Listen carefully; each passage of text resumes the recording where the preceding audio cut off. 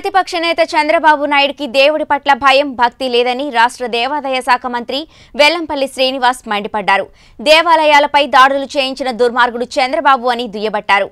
బూట్లు వేసుకుని పూజలు చేసిన వ్యక్తి చంద్రబాబు అని ఆయనే కులాలు మతాలు మధ్య చిచ్చు పెట్టాలని చూస్తున్నారని విమర్శించారు. చంద్రబాబు రామతీర్థం వెళ్ళి అమరావతి గురించి మాట్లాడుతున్నారని ఘటనపై రామతీర్థం చైర్మన్ అశోక్ గజపతిరాజు ఎందుకు స్పందించలేదు అని ప్రశ్నించారు. రామతీర్థం ఘటనలో చంద్రబాబు హస్తం ఉందని దేవుడు ఆస్తులను చంద్రబాబు తన బినామీలకు కట్టబెట్టారని ఆరోపించారు. ప్రత్యక్ష ఎన్నికల్లో ఓడిపోయి దొడ్డిదారిన ఎమ్మెల్సీ అయిన వ్యక్తి లోకేష్ అని వచ్చే ఎన్నికల్లో కుప్పంలో చంద్రబాబు ఓడిపోవడం ఖాయమన్నారు. త్వరలోనే ఓటుకు కోట్లు కేసులో చంద్రబాబును అరెస్టు చేయడం ఖాయమని చంద్రబాబు చేసిన పాపాలకు శిక్ష పడే రోజు దగ్గరలోనే ఉందని మంత్రి వెల్లంపల్లి వ్యాఖ్యానించారు. ఈరోజు సాక్షాత్తు ప్రతిపక్ష నాయకుడు పద్నాలుగేళ్ళు ముఖ్యమంత్రిగా చేసినోడు నలభై ఏళ్ళు ఇండస్ట్రీని చెప్పుకొని రేపు జైలుకి వెళ్ళబోయే చంద్రబాబు నాయుడు రామతీర్థం స్పెషల్ ఫ్లైట్లో విశాఖపట్నానికి వెళ్ళి అక్కడి నుంచి కష్టపడి రామతీర్థానికి వెళ్ళడం జరిగింది. నేను నేరుగా చంద్రబాబు నాయుడిని మీ మీడియా ద్వారా నేరుగా ప్రశ్నిస్తున్నాను. నువ్వు ముఖ్యమంత్రిగా ఉన్నప్పుడు విజయవాడలో కృష్ణానదికి ఒడ్డునే ఇటువైపు గుంటూరు జిల్లా వైపు నువ్వు ఉంటావు.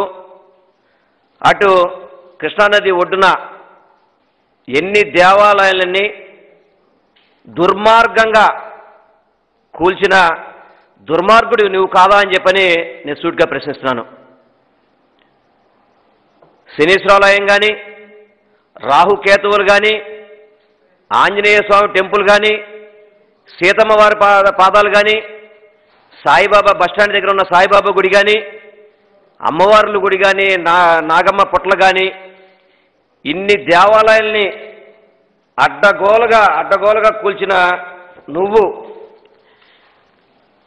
ఈ గుళ్ళన్నీ కూడా అతనే కూల్చినాయని కూడా.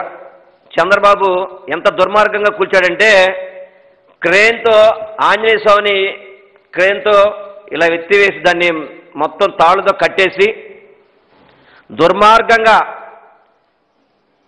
హిందూ దేవాలయాల మీద దాడి చేసిన దుర్మార్గుడు ఎవరైనా ఉన్నారంటే ఈ రాష్ట్రంలో అది చంద్రబాబు నారా చంద్రబాబు నాయుడు అని చెప్పని నేను సూటిగా చెప్తున్నాను. అదేవిధంగా అర్జున వీధిలో ఉన్న గోశాల కొన్ని వేల గోవుల్ని పెంచే గోసాలని గోవులకి నిలువు నీడ లేకుండా చేసిన దుర్మార్గుడు చంద్రబాబు కాదా అని చెప్పని నేను సూట్గా ప్రశ్నిస్తున్నాను.